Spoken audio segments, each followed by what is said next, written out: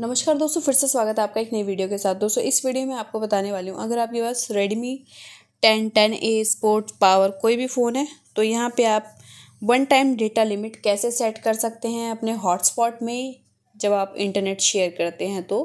तो data limit share कर, set करने के लिए आप जाएँगे सेटिंग पे। यहाँ पे आपको पोर्टेबल हॉटस्पॉट का ऑप्शन देखने को मिल जाएगा आप इस पर क्लिक कर लेंगे।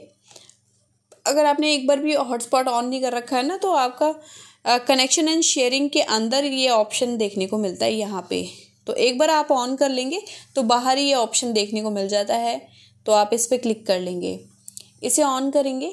ऑन करने के साथ ही यहाँ पे आपको वन टाइम डेटा लिमिट का ऑप्शन देखने को मिलता है, आप इस पर क्लिक कर लेंगे। अब ये बाय डिफ़ॉल्ट ऑफ़ रहता है तो आप इसको ऑन कर लेंगे और यहाँ पे साइज़ का ऑप्शन आ जाता है। तो साइज़ यहाँ पे आप कितना शेयर करना चाहते हैं तो कस्टम पे क्लिक करके आप अपना साइज़ लिख लेंगे कि कितना शेयर करना है। जैसे पाँच सौ एम बी के फॉर्म में लिख देती हूँ मैं यहाँ पे और ओके कर दूँगी। तो यहाँ पे पाँच सौ एम बी ही शेयर होगा, ठीक है? उससे ज़्यादा नहीं होगा। और यहाँ पे वन एक्सीड पे क्लिक करके देख लेंगे कि टर्न ऑफ़ और नोटिफाई दोनों होना चाहिए या फिर नोटिफाई तो इनमें से चेक मार्क कर लेंगे जो ऑप्शन चाहिए। इसके बाद बैक कर लेंगे।